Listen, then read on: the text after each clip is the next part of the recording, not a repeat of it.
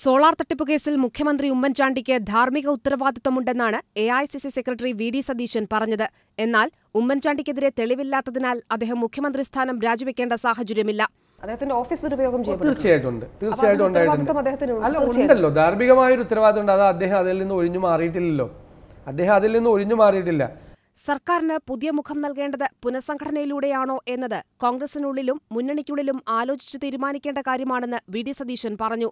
കേരളത്തിലെ സംഘടനാ പ്രശ്നങ്ങൾ ഹൈക്കമാൻഡിന് മുന്നിലാണ്. Ramesh Chennithala K P C C president എന്ന നിലയിൽ മന്ത്രിസ്ഥാനം സംബന്ധിച്ച് അപമാനിക്കപ്പെട്ടു എന്ന അഭിപ്രായം തനിക്കുണ്ട്. ഉചിതമായ തീരുമാനം ഹൈക്കമാൻഡ് സ്വീകരിക്കും. ഉപമുഖ്യമന്ത്രി പദം സംബന്ധിച്ചും രമേശ് ചെന്നിത്തലയുടെ ലീഗിനെ പരാമർശിക്കുന്ന പ്രസ്താവന സംബന്ധിച്ചും മുസ്ലിം ലീഗ് കൈക്കൊണ്ടത് അപക്വമായ നിലപാടുകളാണ്. മാധ്യമവാർത്തകളുടെ അടിസ്ഥാനത്തിലാകരുത്.